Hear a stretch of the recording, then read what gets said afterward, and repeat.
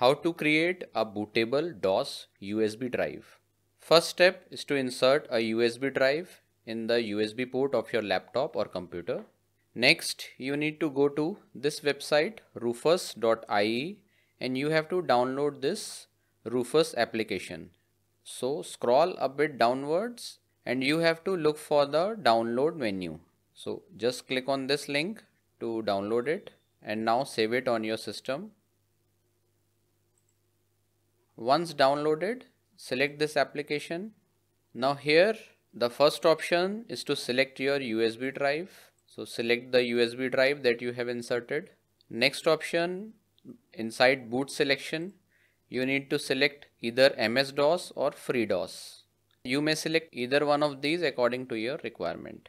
Here for an instance I will I will be selecting FreeDOS. Leave rest of the options as it is now inside volume label you may give it a name like bootable USB drive. For the file system you may select FAT32 or you may select the default option for FAT. I will be selecting FAT32 and now you may click on start. So here it will give you a warning that all the data on this drive will be wiped out. So make sure you don't have any data inside it now just click on OK. So it will take 10 to 15 seconds to finally create your DOS bootable drive.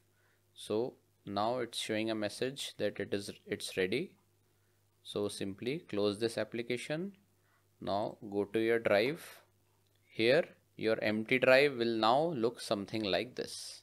So in this way you can create a bootable DOS USB drive. That's it for this video.